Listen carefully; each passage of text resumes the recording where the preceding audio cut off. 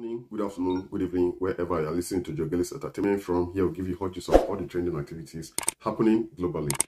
Well, for those that are new and be kind enough to hit the subscribe button, the bell, the notification icon, and feel free to share this video on any of your social media platforms. Today, we'll be discussing about health. Health, they say, is wealth, and a healthy man is a wealthy man. We all want to be healthy and wealthy. Well, today we'll be focusing more on the causes of death during intercourse. Intercourse is lovemaking, and it's what married couples want, especially married couple. Yeah, it's very good for married couples. It keeps them going.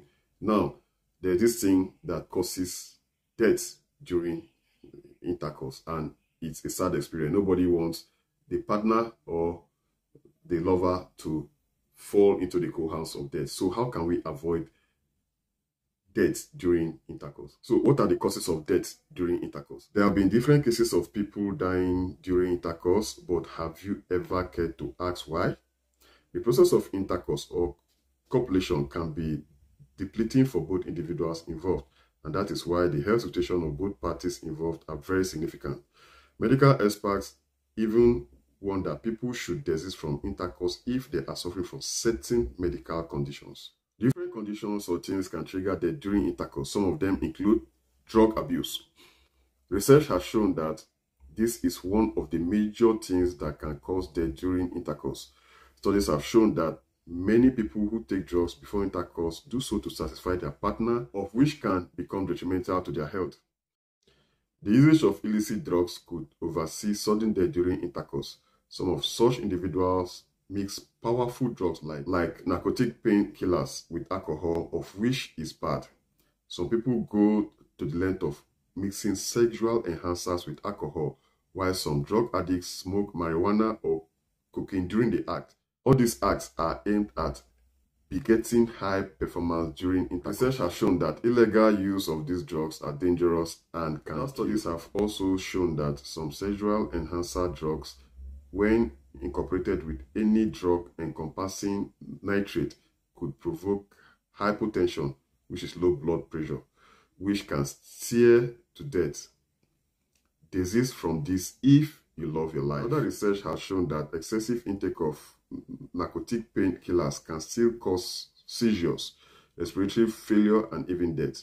Never consume narcotic painkillers with alcohol because they are central nervous system depressants. The intake of cocaine spurs heart attack, convulsions, respiratory depression, and sudden death. If you don't want to suffer all this during intercourse, avoid drug abuse. Another one is heart attack. Heart attack is also another common cause of death during intercourse. A heart attack is a medical emergency and it can occur at any time. Some of the risk factors for heart attack include men above 45 years, women above 50, people suffering from diabetes, hypertension, people that smoke cigarettes and use illicit drugs.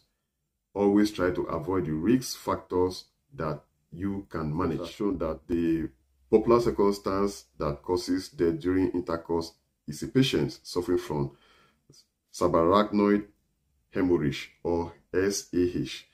It's a form of stroke where a blood vessel taking blood to the brain spots during intercourse. Medical experts recommend periodic exercises for both men and women to prevent this type of problem that would happen during In Source of this information is nationaldailyng.com causes of death during intercourse. So everyone should adhere to the tips of this article because it's very, very necessary men and women out there we love intercourse. So we need to adhere. And it's very painful to lose a loved one during intercourse.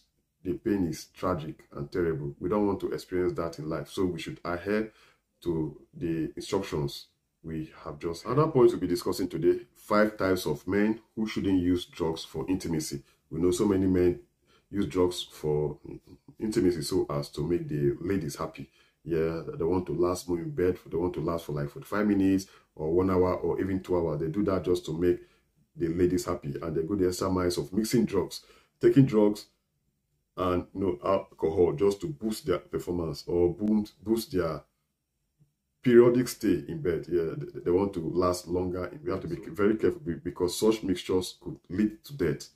Well, we want to discuss five types of men who shouldn't use drugs for intimacy. Enhancer drugs were originally introduced to manage erectile dysfunction or ED, which, while over the years it has proven safe and effective, its abuse is also common, especially among men who don't suffer from ED. A take-home point whenever considering using an ED drug is that it's contraindicated in some people. According to one Dr. John Wheeler, a urologist at the Stritch School of Medicine, Loyola University in Chicago, as long as a man is sexually active, he could benefit from an ED drug. And if he is healthy enough for intimacy, these drugs can be prescribed.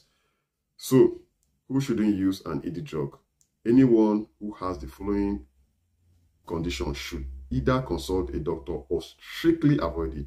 One, visual one, visual disturbance, blurred vision or any eye condition. Two, chest pain or heartburn. Three, nasal congestion, even as simple as common which is catarrh or running nose. Four, nausea or vomiting or diarrhea.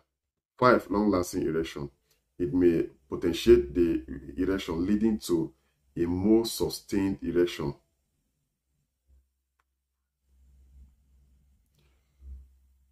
priapism or even rupture of the penile tissue. 6.